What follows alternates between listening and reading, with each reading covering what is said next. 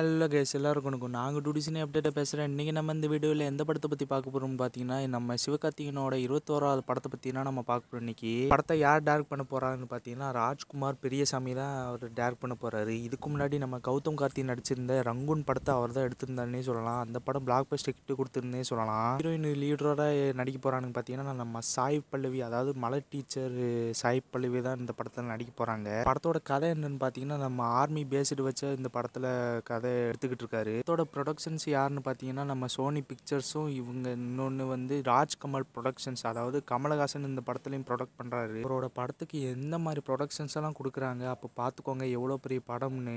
அந்த ப்ரொடக்ஷன் சொல்லுவாங்க ரிலீஸ் பண்ணியிருந்தாங்க. இன்னைக்கு காலையில் பதினொன்றரைக்கு இந்த படத்தை ஒரு அப்டேட் கொடுக்க போகிறோன்னு அப்படின்னு சொல்லி ட்விட்டர்லாம் போட்டிருந்தாங்க. ஸோ ஷார்ப்பாக பதினொன்றரைக்கு காலையில் ரிலீஸ் பண்ணிட்டாங்க. நியூஸ் சொல்ல மறந்துட்டேன். என்னென்னு பார்த்தீங்கன்னா இந்த படத்தோட மியூசிக் டாட்டி யாருன்னு தான் இந்த படத்தோட அப்டேட்டு காலையில் பதினொன்றரைக்கு ரிலீஸ் பண்ணியிருந்தாங்க. இப்போ யார் இந்த படத்தை மியூசிக் கம்போஸ் பண்ண போகிறாங்கன்னு பார்த்தீங்கன்னா நம்ம ஜிவி பிரகாஷ் குமார் தான் இவர் இவர் தான் இந்த படத்தில் மியூசிக் போட போகிறாரு இந்த படத்தோட ப்ரொடக்ஷன்ஸ் இன்னும் முடியலை இன்னும் முடிய போகிறதும் இல்லை. இந்த இனிமேல் வந்துக்கிட்டே இருக்கும்போது அப்டேட்லாம் வந்துக்கிட்டே இருக்கும்போது நான் உங்களுக்கு நான் ஷேர் பண்ணி விட்றேன். இந்த வீடியோ உங்களுக்கு பிடிச்சிருந்தா லைக் கமெண்ட் அண்ட் சப்ஸ்கிரைப் பண்ணி சேர்த்து கிளிக் பண்ணி வச்சுக்கோங்க. நான் போடுற ஒவ்வொரு வீடியோஸும் டெய்லி நோட்டிஃபிகேஷனாக வந்துகிட்டு இருக்கும். இத்துடன் நான் விடைபெறுகிறேன். உங்கள் நான் டுடிசினி அப்டேட்டை நன்றி. வாழ் டாட்டா